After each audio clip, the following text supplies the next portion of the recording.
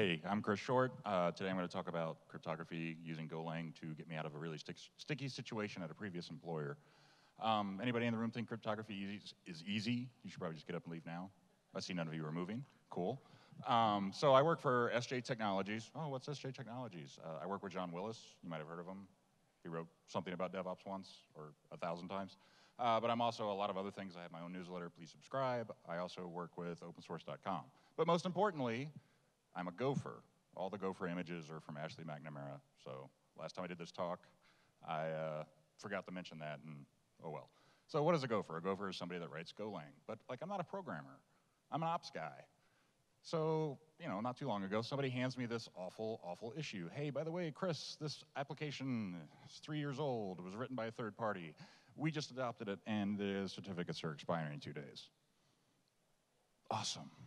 Oh, and the only version of it we have is production. Oh, and thousands of people use it, so you kind of have to not break it. Okay, cool, so I'll get some new certs. Well, it's not as easy as you would think, right? Like, you have to have good certs.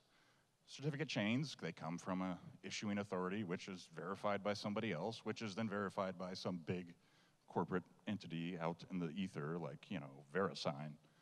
So, you know, certificate chains are hard.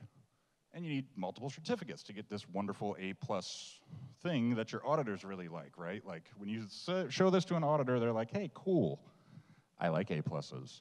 But you have to have this intermediate certificate, right? You get this private key, you get this public key, now you need to combine them all, and you gotta go find the intermediate key, and this is the documentation. Super not friendly to users. Actually, one of these sites I checked this morning has completely changed their webpage to make it a little bit easier to read. So I need to update that. But this is how you feel when you go there. I'm a Carolina Panthers fan, so like this was hard for me to put in here. But this is how I felt that day when I was like, you've got to be kidding me. Which intermediate cert do I need? Where do I put it? Well, you know, I'm a sysadmin by trade, ops guy, go ops. Um, so I was like, well, I'm not going to try and figure out cryptography. I'm going to use somebody else's stuff to figure out cryptography. And the Go standard library has an amazing crypto package. So let's talk about this program I wrote, log. That's one component from the standard library that I need it has an amazing ability to just fail spectacularly, which I'm in DevOps, I'm embrace failure. Like I said, the crypto library is amazing. It is perfect, perfect. TLS 1.2 implementation. This is obviously the package that handles all the fun cryptography pieces. And by the way, it makes sure it's in the right order. So if it's not, it just logs and fails. Net HTTP, the package that serves, like the actual TLS connection, Makes sense, right? We're all nerds here. We kind of understand HTTP. Um, it is also very fast. So when you combine them with mux and config and server, you actually get like a good web service out of virtually nothing. It's a very small program. Even with like a redirect port 80 to 443, it's only 50 lines of code. It's amazing. So it fails spectacularly, right? Like if your private key and your public key are not perfect, boom, sorry, won't load.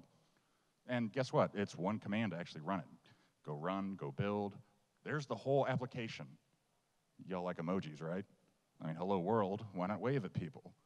So you can actually load this app and run it anywhere in the world, and you can test it from any tool, wherever, and it, it'll tell you, hello world.